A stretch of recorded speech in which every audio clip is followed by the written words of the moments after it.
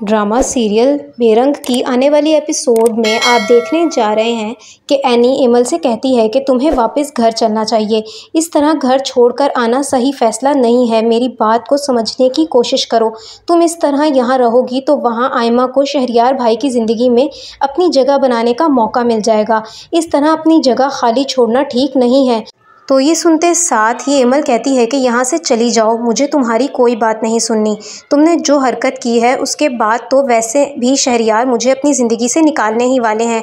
तुम्हारी वजह से मेरा घर बर्बाद होने वाला है। अब मैं चाहे वहाँ रहूँ या फिर यहाँ, क्या फ़र्क पड़ता है?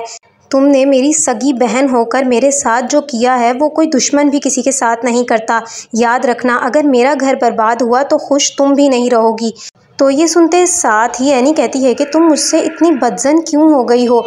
मेरा यकीन करो, मेरा इसमें कोई कसूर नहीं है। ये सब हॉस्पिटल वालों की लापरवाही का नतीजा है और तुम ऐसी बातें क्यों कर रही हो? अफान ने कहा, है ना, वो शहरियार भाई को समझाएँगे। तुम्हारा घर हम इस तरह ख़राब नहीं होने देंगे।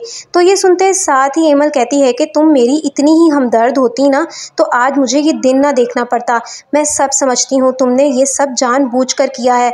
तुम उस घर में सिर्फ़ अपना राज रखना चाहती हो। इसीलिए तुमने बहरोज़ भाई के मरते ही अफ़ान को फंसा कर उससे शादी कर ली, ताकि उस घर में तुम्हारी जगह हमेशा बनी रहे। तुम चाहती ही नहीं हो कि मैं इस घर में रहूँ।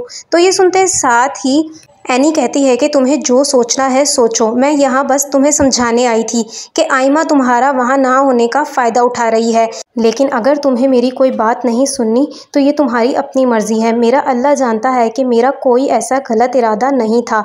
मेरी इसमें कोई गलती नहीं थी और यही मेरे लिए काफ़ी है। तुम्हें मेरे बारे में जो सोचना है, अब तुम सोचती रहो। मैं तुम्हें कोई सफ़ाई नहीं दूँगी। तो ये सुनते साथ ही एमल कहती है कि तुम्हें मुझसे कोई हमदर्दी करने की ज़रूरत भी नहीं है।